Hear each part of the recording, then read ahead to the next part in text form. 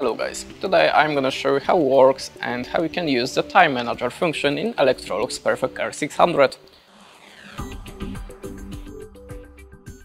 So in the first step select your program, the additional functions and as you can see there a time manager button. By this button you can increase or decrease the time of your laundry.